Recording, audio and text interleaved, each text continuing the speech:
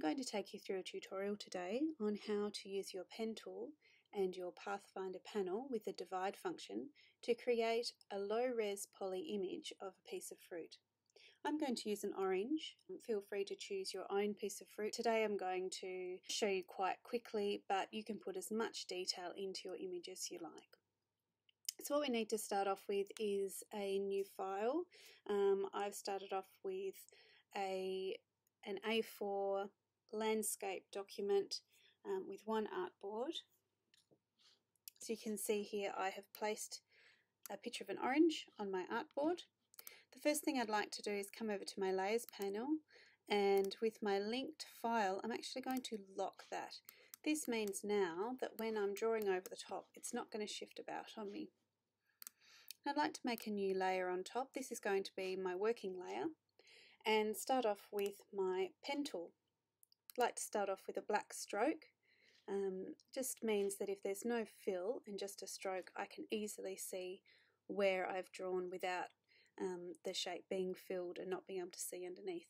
We don't want to do any Bezier curves, so that means that with my pen tool, all I'm doing is dropping anchor points.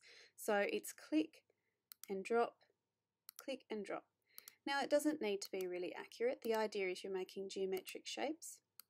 So just come around the outside of your piece of fruit and just generally where the edge is um, click some straight lines. To come right round and you'll see in a moment a little circle come up. That means I'm closing the path. So I'd like one path. I'm actually going to also come around inside the orange rind where it goes from orange to white with the pith because uh, I think that'll give us just a little bit more oh, you can see I've got a tiny Bezier curve there. I'll move that because I just want it to be flat. This will just give us more of a chance to have um, different shades within our drawing within our illustration.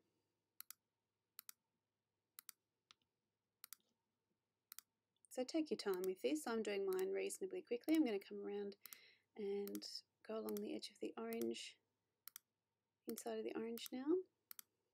Take as long as you need.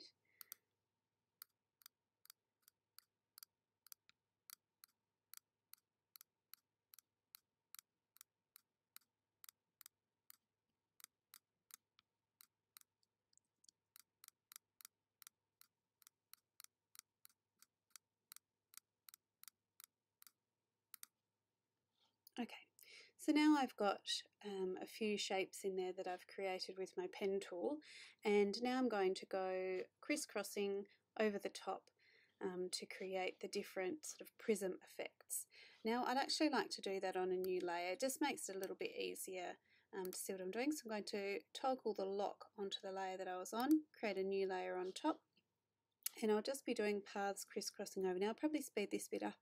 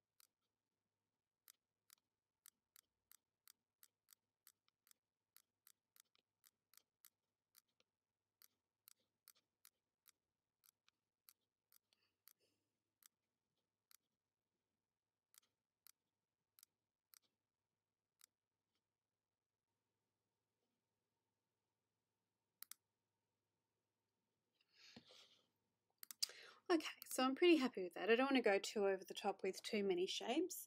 Um, it looks a bit peculiar now, but as you'll see, when we go to the Pathfinder tool, each of these separate areas we have here will become separate shapes that we can colour. I'm going to toggle off the lock. I'm going to select all of my lines that I've made so far and I'm going to come over to my Pathfinder. Now if your Pathfinder panel is not already out, I'll just close this to show you where it is. You come up to Window, Pathfinder. Now within Pathfinder there's quite a few nifty little things that you can try out. Today we're using the divide function which will make each of these separate um, spaces into separate shapes. So once I click this uh, it makes each of these into separate shapes within a group. So I'll just show you by double clicking in here and as you can see now when I click these shapes they're all separate and that's what the divide function has done for me. So now I can go through, uh, right mouse button click and ungroup them and I can now select each shape and colorize it and I'll do use the um, eyedropper tool for that. And it's quite handy. I can actually toggle between so I'm going to have my um, so direct selection tool and my eyedropper tool. So I'll select a shape go to my eyedropper tool and use the eyedropper tool. Now I can toggle between them by holding down command and my direct selection tool will pop up. When I let go of command, it goes back to my eyedropper. So this is quite a handy way of going through. Now this is a really long process, so I'll, we'll speed this section up for you.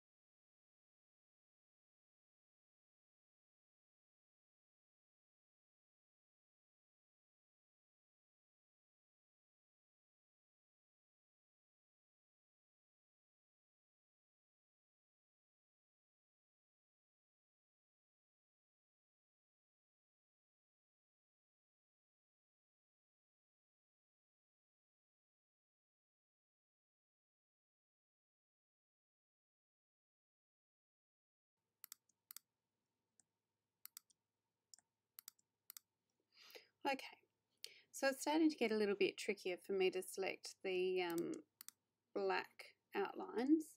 So there's a few different things that I can do at this point. I can keep kind of going through and trying to grab them. Um, but because of the hierarchy, it does become quite tricky to get some of these ones that are sitting in behind other shapes. So I can come down to my layers panel. I'm just going to pull this layers panel out. And if you don't have your layers panel um, available, it's up here in window layers. Now you can see in my layers panel it has all the different shapes that have been created and it's a bit easier to see in here um, which ones haven't been coloured yet because they're these little black shapes here. So I've got my ones that I've already coloured into the oranges and creams um, and I can actually select these paths by toggling um, this circle here. So I can see that this is a tiny shape in there and then I can colour that. And again I can grab this one and colour that. So I could go through my whole document and change them that way. Um, and that's quite an effective way of going through. Another way would be to select this and I can come up to here to select. Select same stroke colour. And now every single one that has not been coloured is now selected. So I could do one of two things. I could group them so that I know that they're on a group. I could bring them to the front, which I, I might do that first. So arrange bring to front uh, and now they're already a bit easier to access. What I'm actually going to do is because I have enough gradients of the orange um, already chosen from my reference image, I'm actually going to just switch this over so um, the black stroke becomes a black fill. And it's just then a bit easier for me to see and select and change the colour. Now I'm going to um, go around. You can see now that's a bit easier to select. And then with my eyedropper tool, instead of choosing a colour from the orange below, I can actually just choose a colour from somewhere else within my image, uh, within the drawing that I've already done.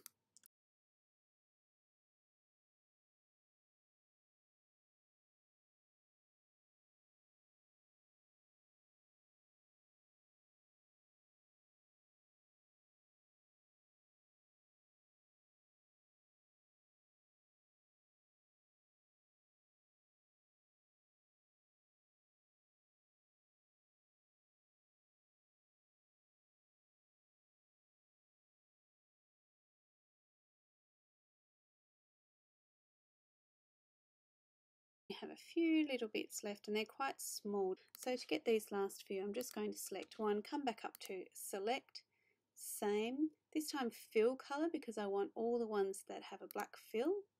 And now I'm just going to make these all the same color. Now let's have a look.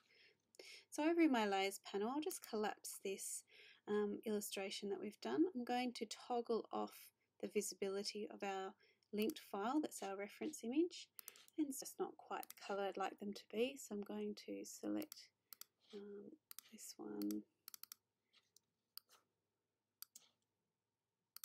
this one here, here, here, those two, and probably make them a darker orange. Yep. Excellent. So there we have it. We've made a low res poly image of an orange.